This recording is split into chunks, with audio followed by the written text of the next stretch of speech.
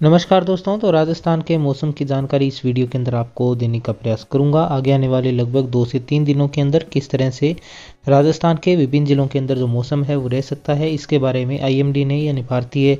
मौसम विभाग ने जो जानकारी है वो जो है वो जारी कर दी है। जिसके अंतर्गत बात करें तो राजस्थान के काफ़ी ज़िलों के अंदर मौसम विभाग के द्वारा जो अलर्ट है वो जारी किया गया है। उत्तर भारत के अंदर अगर बात करें तो अभी फ़िलहाल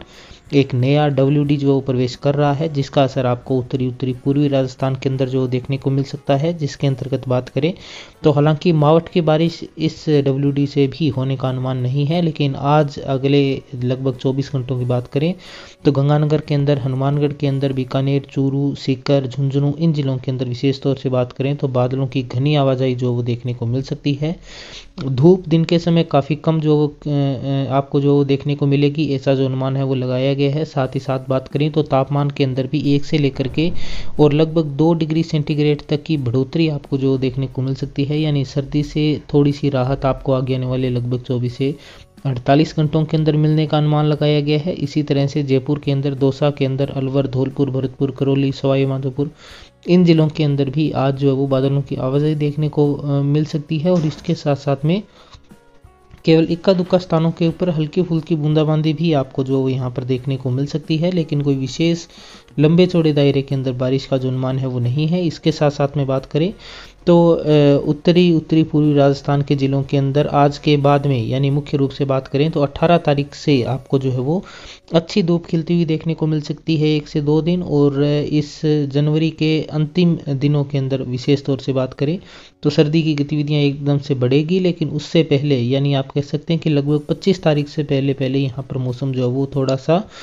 सर्दियों के अंदर यहाँ पर जो राहत आपको मिल सकती है थोड़ी। इसके बाद में दक्षिणी पूर्वी राजस्थान के ज़िलों की बात करें तो कोटा, बूंदी, बारा झालावाड़, इन ज़िलों के अंदर भी आपको जो बादलों की आवाजाही देखने को मिल सकती है। तापमान के अंदर हल्का उछाल आगे आने वाले लगभग 24 से 48 घंटों के अंदर देखने को मिल सकता है। बारिश की संभावना यहाँ पर भी बिल्कुल न के बराबर है। राजस्थान के अंदर अगर बारिश की बात करें तो मुख्य रूप से जो वो फरवरी के पहले सप्ताह के अंदर आपको बारिश की गतिविधियाँ जो शुरू होती हुई देखने को मिल सकती है, जिसके अंतर्गत काफ़ी क्षेत्रों के अंदर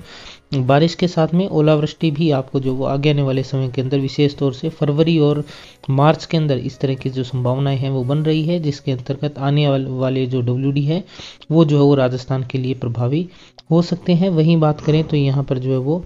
उदयपुर ज़िले के अंदर, डूंगरपुर ज़िले के अंदर, बांसवाड़ा, प्रतापगढ़, चित्तौड़गढ़, भीलवाड़ा, इन क्षेत्रों के अंदर भी हल्के बादलों की आवाजाही के बीच में मौसम शुष्क बना बना रह सकता है। ठंड के अंदर थोड़ी सी कमी देखने को मिल सकती है। इसके साथ साथ में जालोर, सिरोही, पाली, अजमेर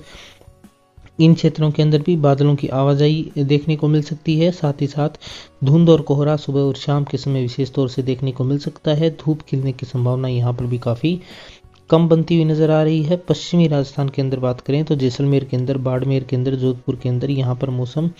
शुष्क बना रह सकता है। इसके साथ साथ में सर्दी की गतिविधियों के अंदर भी हल्की कमी देखने को मिल सकती है। दिन के समय धूप यहाँ पर कुछ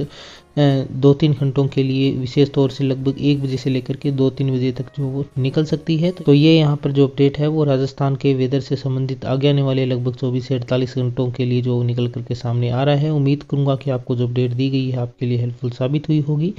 वीडियो को पूरा देखने के लिए आपका बहुत बहुत धन्यवाद।